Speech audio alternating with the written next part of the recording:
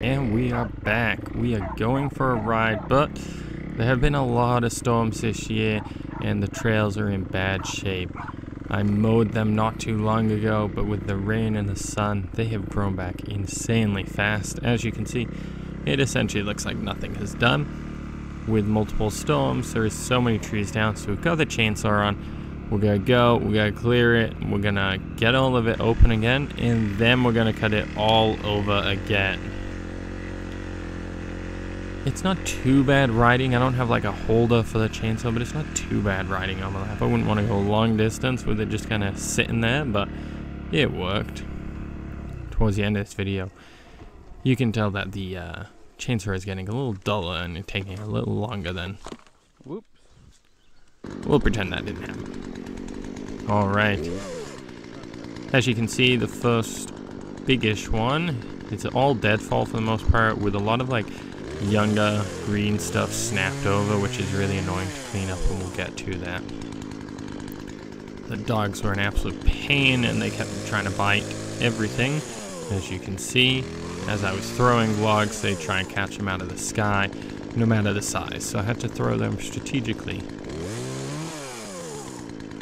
There is something satisfying about this clearing brush kind of situation.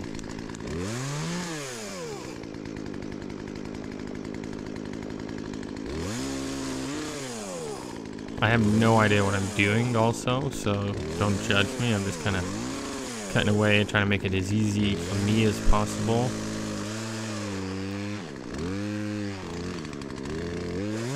There you go. Absolutely no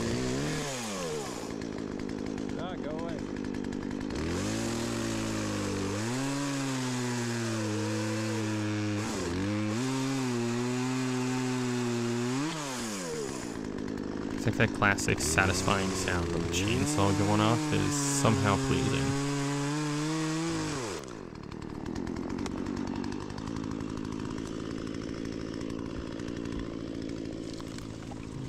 And for some reason I still have my helmet in.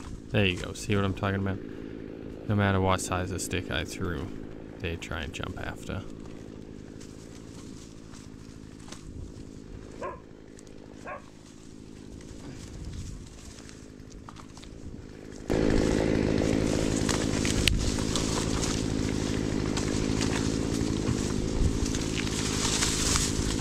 You.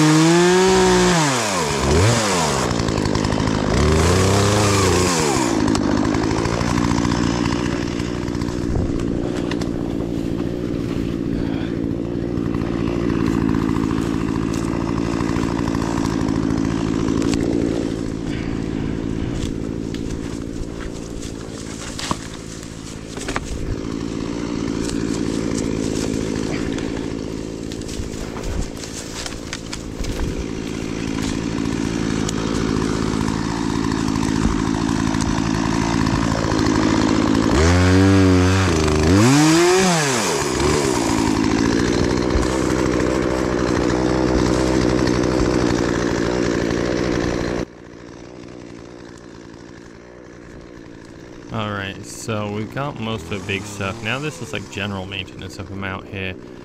A lot of this stuff just falls in the way, grows up every single year. And then especially once this kind of weather hits it, just kind of leans and flows right into the trail. So we try and cut back as much as we can. No worry about cutting too much. And literally, by next year, everything's going to grow back to look exactly the same.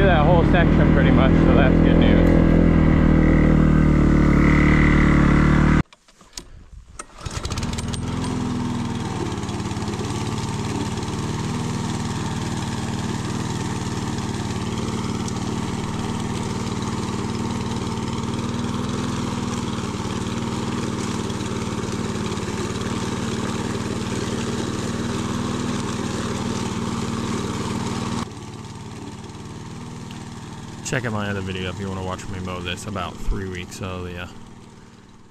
We do it a little bit slow, but we still fast forward it. With a bit of a lawnmower action, we managed to widen it out. This is the next day, and there was a storm last night. So pretty much this starts us back over from everything we did yesterday, and we go back at it again. Bigger storm than yesterday, so a lot more kind of living live trees to go. We attempt to go for a ride, but it fails pretty miserably as you'll see here, and then we get back to clearing up everything.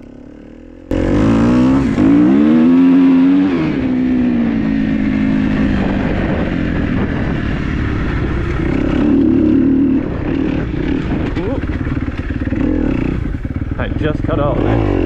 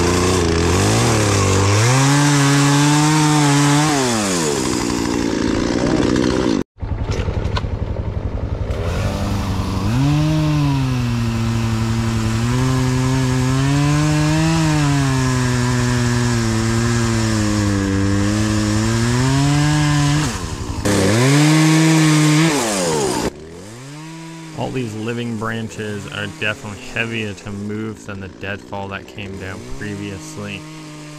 We have to chop them up a little smaller. There are also a lot more of them. Like these were bigger trees significantly. So we did our best. We cleared them up and then just twisted them off the trail as good as we could.